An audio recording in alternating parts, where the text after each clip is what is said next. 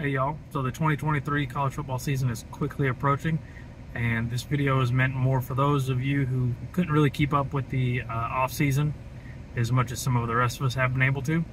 Uh, these are some changes and some big movements that have happened that I think us as Tennessee fans should all be aware of going into the season. So without further ado, let's jump right into it. Starting with the transfer portal. Now those that have left the transfer left Tennessee to the transfer portal uh, include Len'Neth Whitehead, running back going to Georgia, and Tayven Jackson, quarterback going to Indiana. Um, those are the only big notable ones that are leaving Tennessee, but we have a vast, we have a lot coming into Tennessee that I think uh, could make a big impact coming in. Uh, so starting with who I think might make the biggest impact, or at least will make be the most flashy on the field, uh, would be Dont'e Thornton wide receiver coming from Oregon, coming in at 6'5", uh, roughly 230. Uh, reportedly ran 24 miles an hour in practice. We anticipate he may be uh, the next Jalin Hyatt. We'll have to see if he can live up to that kind of hype. Uh, we got Gabe Jeudy-Lally, a linebacker from BYU. Keenan Pili, a cornerback from BYU. Uh, offensive tackle John Campbell from Miami. Andrej Karic from Texas. Uh, Omarr Norman-Lott, there's a lot of hype surrounding this guy coming from Arizona State at defensive line. Uh, we got edge rusher Luke Schaus from Ole Miss and tight end McCallan Castles from UC Davis. Uh, he was a three or four star recruit, depending on where you look. So, uh, just because he came from UC Davis doesn't mean he won't make an impact on this football team. Uh, now, going to the transfer portal outside of Tennessee, um, we got NC State quarterback Devin Leary going to Kentucky. Uh, I think this is going to be a huge upgrade for them at quarterback uh, over Will Levis. Uh, he had some great numbers in 2021. Unfortunately, was injured in 2022, so didn't get to do a whole lot there. Uh, anticipate seeing much better quarterback play out of Kentucky this year. Uh, we got Tyler Buchner, Notre Dame quarterback, going to Alabama. Uh, he didn't do anything to impress anybody at Notre Dame, and I don't think he's going to here at Alabama. Uh, Alabama looks to return to form uh, as we've all known them uh, the run it down your throat, beat you into submission type football that Alabama made a name for themselves with. We'll see. How, have to see how that goes. Uh, I'm not totally convinced. Uh, and we got Wisconsin quarterback Graham Mertz going to Florida.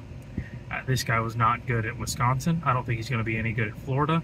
Uh, Florida went five and seven last year, and that was with the number four overall pick at quarterback. Uh, we've lo- they've lost him, and they're going to go to Graham Mertz, who can't seem to keep the ball out of the defense's hands. Just not convinced. I, I think this could be really bad for Florida. Um, are going to recruiting uh, for 2024. Because 2023 is obviously behind us now. Uh, 2024, as of the time, as of right, as of recording this video, uh, On3 has us at number nine with one five star, that being wide receiver Mike Matthews. Uh, he is the highest rated wide receiver Tennessee has ever gotten. Uh, so look for him to be uh, make a big impact here in 2024. 24/7 has us listed at number 11. Uh, same story there. In 2024, we have an SEC schedule that's kind of taking the place. It's just kind of a placeholder season. 2025, the season may look very different. At least the SEC schedule might. Uh, but for 2024, the teams we got at home are Alabama, Florida, Kentucky, and Mississippi State. And our away games are going to include Arkansas, Georgia, Oklahoma, and Vanderbilt. Uh, that's just for 2024. In 2025, we may even be going to a nine game SEC schedule. Uh, we'll have to see how all that plays out. Uh, so, rule changes for all of college football. Uh, the clock will not stop after first downs anymore. Uh, this is only during. This does not affect the last two minutes of each quarter, or this does not affect the last two minutes of each half. So within the last two minutes of the first half and the last two minutes of the second half, the clock will stop after first downs, the same way it has been. Um, there will be no more consecutive timeouts called. So for teams that want to call two, three timeouts to try to ice a kicker all in a row in succession, that's no longer allowed. Uh, the point of these rule changes is the NCAA is trying to um, cut down on the amount of time it takes to get through a football game. Uh, we'll see if it has that desired effect on it. Uh, moving on to the NCAA investigation of the University of Tennessee regarding the uh, recruiting violations by head coach Jeremy Pruitt when he was still here. Uh, this investigation is finally all wrapped up. There is no postseason bowl ban, uh, so that's great for us as fans. Uh, the only punishments that Tennessee will face as a program or as a school is an $8 million fine.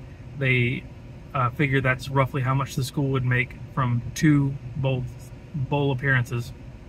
Uh, we have to vacate the 11 wins from 2019 2020, so the years that Jeremy Pruitt was there. Uh, 28 scholarship reduction. Um, now, we have been in self imposing scholarship reductions on our own, uh, so up to this point, we have already imposed, looks like 16, and those do count towards that total of 28. So we only have 12 more to reduce over the next three years. So instead of 85 scholarship available, 85 scholarships available to the school, we'll only have uh, what is that, 81 for each season over the next three years. Uh, it's not a big deal. Usually, the school does not operate with full 85 scholarships anyway. Um, and last but not least, Jeremy Pruitt getting a six-year show cause from the NCAA. Uh, I believe he's currently coaching high school ball.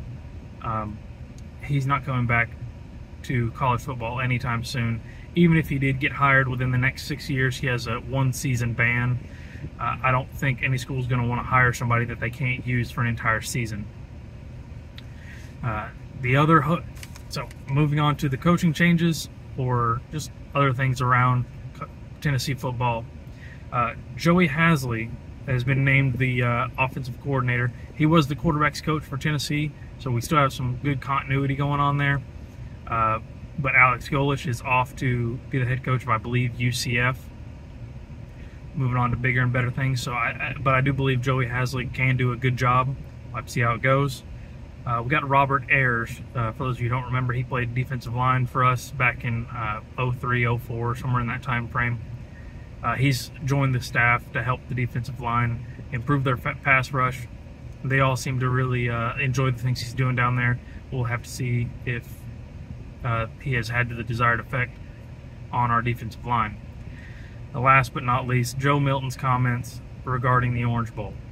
So, in an interview with Locked On SEC, he was asked about what did it mean to be going back to Florida uh, for this Orange Bowl win. Uh, he made the comment something along the lines of, uh, "It means a lot. I don't lose in Florida." Uh, for those of you unaware, we do play Florida in Gainesville this year, uh, so everyone has taken that to mean, "Oh, well, Joe Milton's going to say, saying that we will beat Florida in Florida." And while I believe that, I don't believe that's what he meant. He he was asked about the Orange Bowl. I believe he was talking about the Orange Bowl. But with that, that's going to wrap up everything I have for you guys today. That's really the big things going into the season. I feel like Tennessee fans should be aware of. Um, there's a whole lot of movement, a whole lot of talk going on in the offseason. Most of it kind of meant nothing. The points I've hit today, I believe, are the, the big ones that Tennessee fans should be aware of. So with that, I thank you for listening and have a great rest of your day.